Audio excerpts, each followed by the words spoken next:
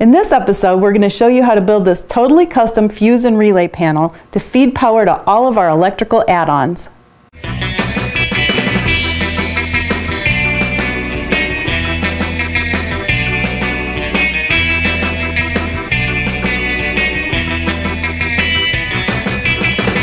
Where the heck are we? This can't be right. Class has started. Pay attention. The heart and soul of this project is preparation. We started by making a need and a wants list. On it is everything electrical that we can think of having on our rig, even if we won't be getting to it for months or even years down the road. Now's the time to start making plans for it. Then, we researched what's needed to run each accessory. The amps it draws determines if it needs a switched relay, what size, along with what gauge wire is needed to feed it.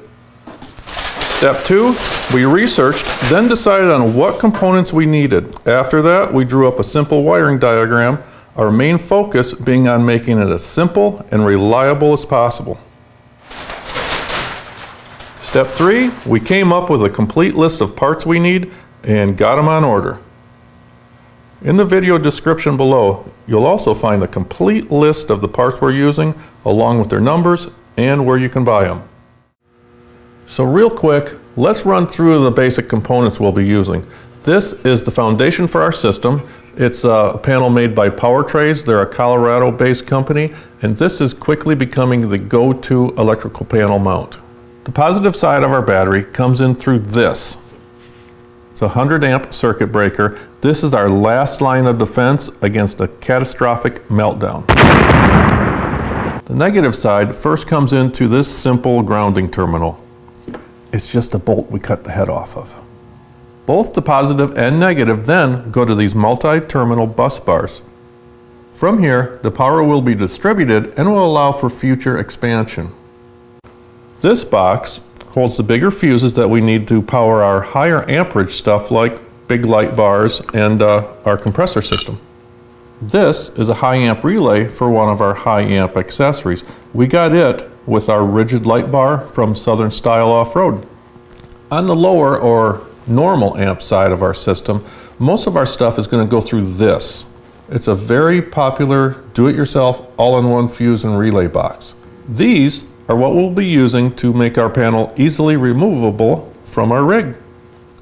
Now it's time to do the custom work on our panel. But first, let's run through the basics of how a relay works and why you need to use them. Inside a relay is a big switch capable of enduring the high amperage that's needed to power many accessories.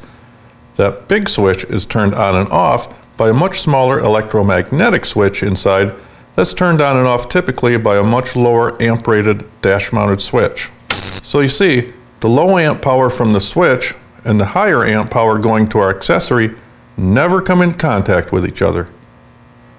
The reason why we want to use relays is to reduce the amount of high energy going through our wires behind our dash and the dash mounted switches or ones that are made to go in the dash are only rated maybe 5 amps at the most. If you try putting more amps through these or their wires, you're at a really high risk of your rig going up in flames. In the video description below, we list a website that was instrumental in helping us find parts, part numbers, where to buy them, and as well as other technical information. Now, full disclosure, we are not electricians, nor claim to be, and we know very little about electricity. All we did was Google and research, and uh, you can do it too. You can do it too. Now you'll notice that this Bussmann relay box does not come with terminals in most of these holes. We have to put those in ourselves. Now let's look at a diagram to see how and where the power travels through this. Now it's very important to note that this is a view of the underside of our Bussmann box. Positive power comes in from our battery to this terminal here, and then that feeds an internal bus bar that feeds power to all these holes, which aren't really holes when you look at the bottom of the Bussmann box.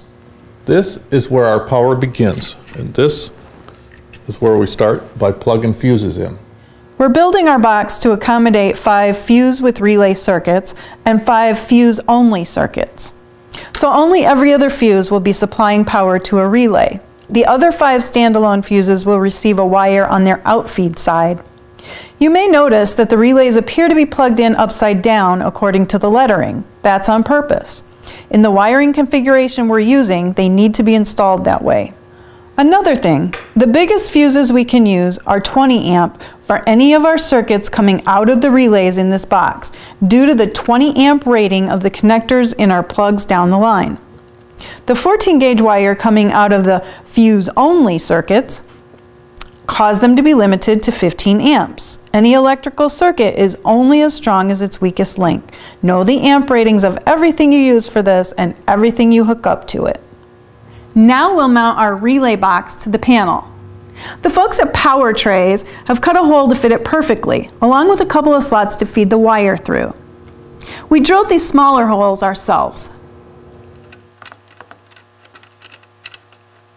To save space on the underside of our panel, and since the bolt holes line up with one another, we'll be bolting our main bus bars on either side of the relay box.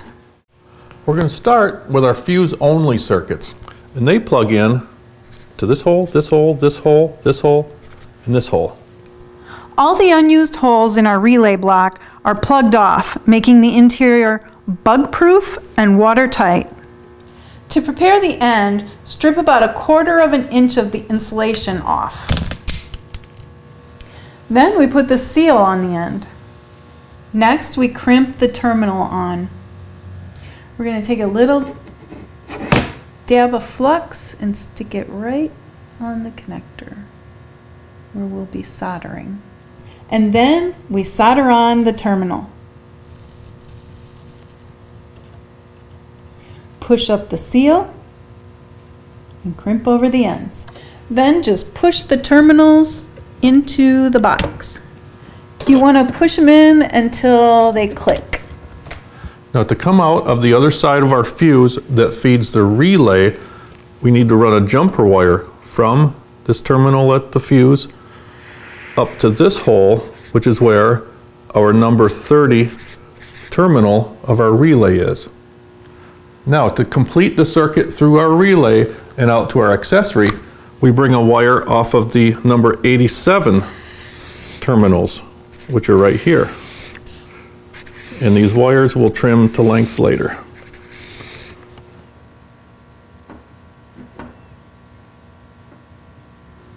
For the incoming low amp dash switch power, we come in to the number 86 terminal.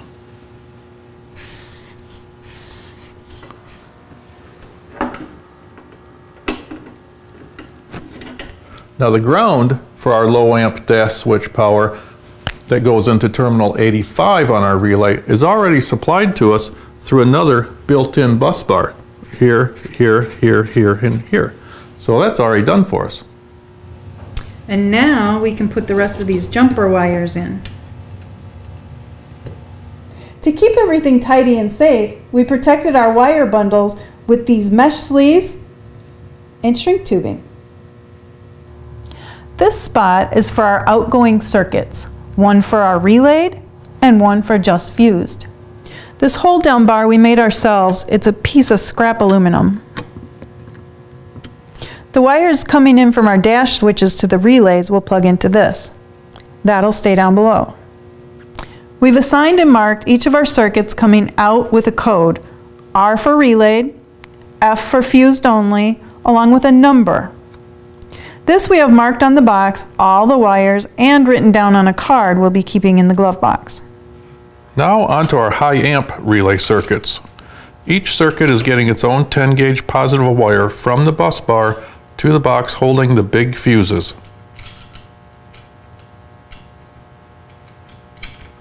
Right now we only have two circuits through these big fuses. We'll add more as we need them. One goes directly to our compressor in the back where it has its own built-in relay and nearby switch. The other circuit goes right to our big light bar relay. A short wire goes from the fuse box to the number 30 terminal on the relay. Then an output wire comes off of our number 87 terminal and goes off to the light bar. Then a ground wire comes up from our negative bus bar to terminal number 85. Terminal number 86 gets a wire coming from our dash switch.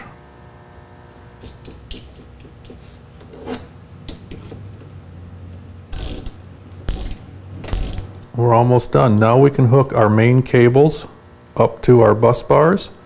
Mary already has the one hooked up to the internal bus bar on our Bussmann box. And then she just hooked up the one to our external bus bar.